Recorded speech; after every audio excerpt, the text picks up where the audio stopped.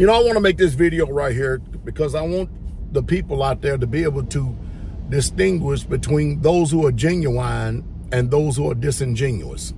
Did you hear what I said? Those who are genuine and those who are disingenuous. There's a big difference. A lot of people out here in this world today, you know, they talk about a lot of stuff, but they understand very little. Today, people are having a hard time defining words and the definitions of those words. They're literally having a hard time trying to define what they are. People today, okay, so one of the big things is adultery. I know that a lot of you out there are steeped in false doctrine and, and false teachings and stuff. And Ringo TV is the same one.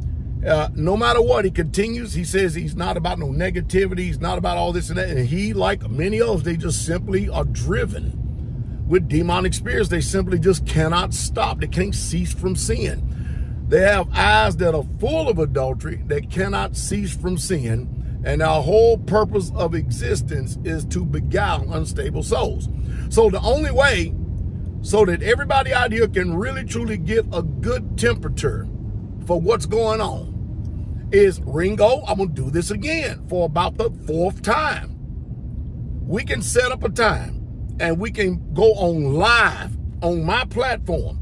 I'll bring you in. And you can we'll we'll see what you know. You can define what you believe to be. You answer my questions, I'll answer your questions. What's wrong with that? What is wrong with that? I can't how much more honest can you be? And many already know that I'm doing. See, what I'm trying to do out here is I'm trying to show you that a lot of these people have nefarious ways about them. They're not concerned about truth. They're not concerned about honor. They're not concerned about integrity. These are content creators. They're concerned about drama. And whenever their their numbers start to fall, then they have to come and mention my name in, in some type of negative light. To them, it makes no difference. It's, it's what in their eyes, it's all been false. They're never going to say nothing that's positively truth about me. They used to at one time. But when they, hey, you have to understand, once you have put yourself out there and you have engaged in believing false accusations and you become a slanderer and a liar, you're engaged. You're, you're committed now. And saving face and keeping that pride means more to them than actually having an intelligent, healthy dialogue. So y'all go tell Ringo I said that. Say, tonight, I will be on Hold Fast Wednesdays. We'll, we'll bring you on in. I'll bring you on in. I'll take all the other pastors out of the panel. As soon as you decide, if you decide to come in and, and stop ducking and dodging and stop throwing rocks and hiding hands, as soon as you say you want to come into the show, I'll take out Pastor Muir and Pastor Corey.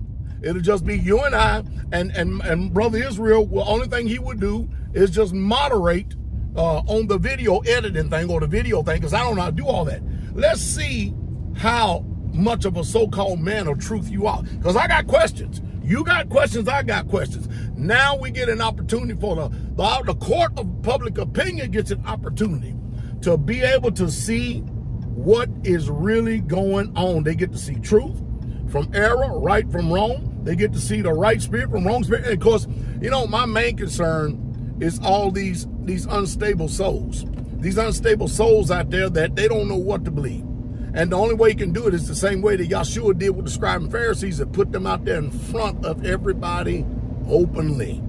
Openly. So Ringo, come on tonight. If not, contact me. Some way, shape, or form. I don't know how to contact you. You called the dining hall one time and hung up. And and private number and everything. And I and, and just said a few words and that was it. Hey, I listen. Come on, Ringo. Let's see how much of a man of truth you are. Let's get it. Let's do this.